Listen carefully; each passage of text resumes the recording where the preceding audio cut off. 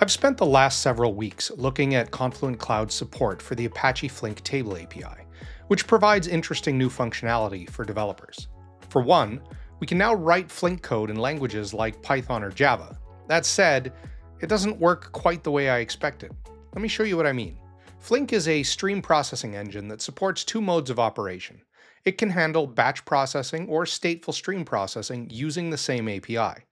That's pretty great, but honestly, I'm done with batch processing and you probably should be too. Let's focus on stream processing. Stream processing takes an unbounded sequence of events and runs them through a pipeline, potentially emitting new events along the way. Each step can store state that can be retrieved by future events. In the event the stream fails, the state can also be used to recover the stream. This allows Flink to be resilient to failures. Originally, this was all done using the DataStream API for Flink. It allows you to write stateful functions that operate on individual events and connect them into rich pipelines. However, while the DataStream API is powerful, it isn't very approachable. But what if we flip things around and treated a stream of events like a database table? Could we allow developers to use the same tools to access a data stream as they use to read a database? This is the origin of the SQL API for Flink. It uses standard SQL to write queries against data streams by treating them like tables.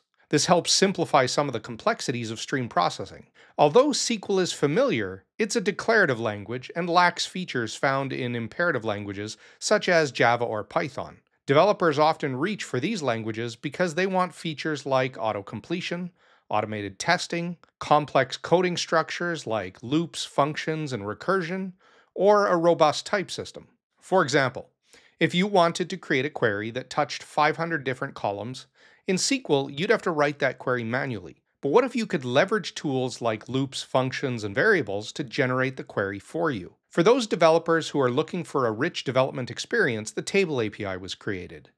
It provides a domain-specific language for processing data streams as tables. It resembles SQL and provides access to familiar constructs like select, join, and window, but it's implemented in languages like Java and Python.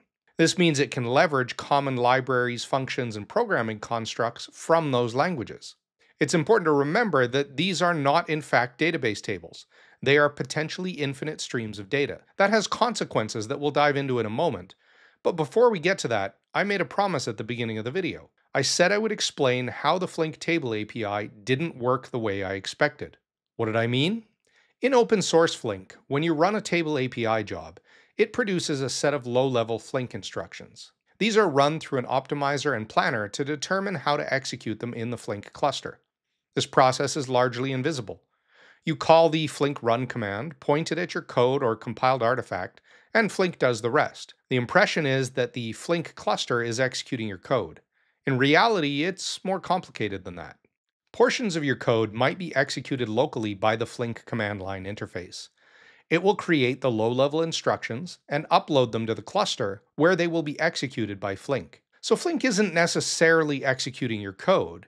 Instead, it uses your code to build a set of instructions and executes those.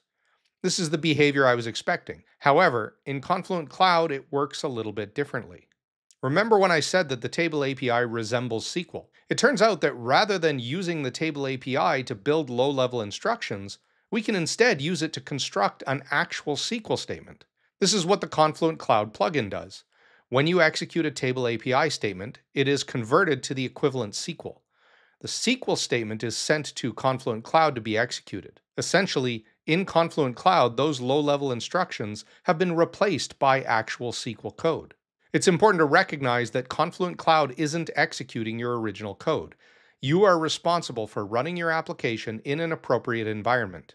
And since Confluent Cloud only sees the SQL code, anything you do in your application must be compatible with an equivalent SQL statement. Otherwise, Confluent Cloud won't be able to run it.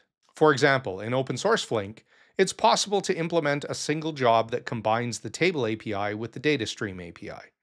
However, in Confluent Cloud, this isn't supported.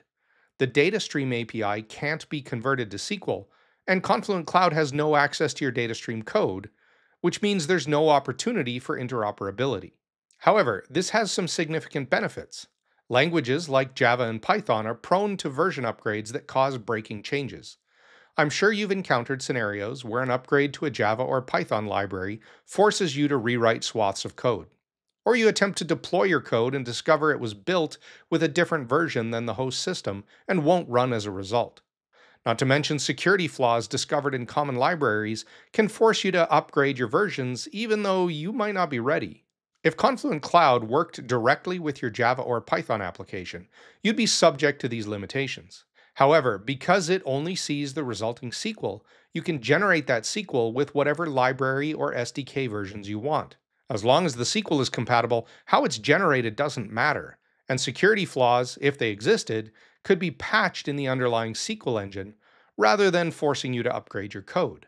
This means your Flink jobs will likely remain compatible for much longer than they would if you had to worry about keeping up with the latest versions. Some of this will change with user-defined functions, but we'll leave those out of the equation for now.